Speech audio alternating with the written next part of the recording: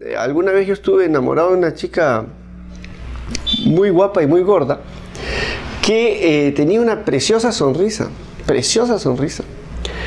Y eh, un día me, invita la chica a almorzar con su familia. Y, o no sé si a tomar noche, o por alguna razón fuimos a la casa de ella. Y llego a la casa y la mamá tenía la sonrisa, el papá tenía la sonrisa, todos los hijos tenían la sonrisa. Era una situación muy graciosa. Hasta ahora me puedo acordar cuando vi más o menos la- las ocho sonrisas iguales a la de ella en esa casa. Bueno, pues no sé, a mí me parece una anécdota graciosa.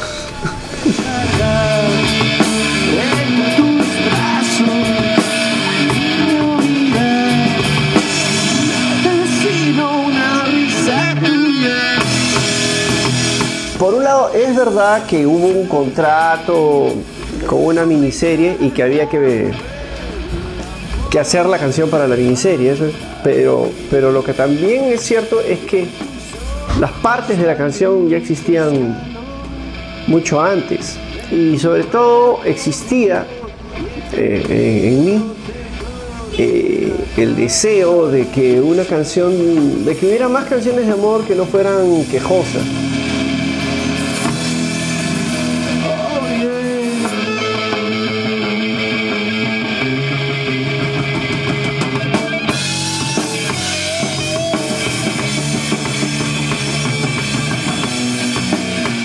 Hay una cosa que ya todo el mundo sabe, que es que cuando uno está feliz uno no hace canciones, uno eh, corre, hace el amor, va de la mano, no sé. eh, uno hace más canciones tristes que, que, que- que ale- que alegres, pero no es justo, no es justo con el público.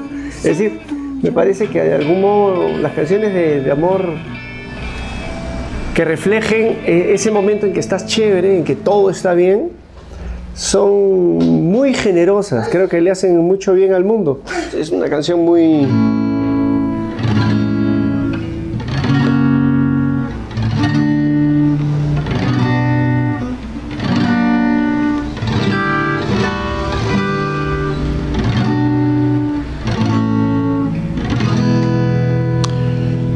Pero...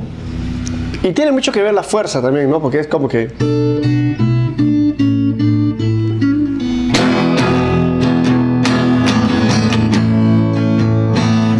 mucho la, la canción. Una canción rock, pero una canción de amor, ¿no? Es, es eso.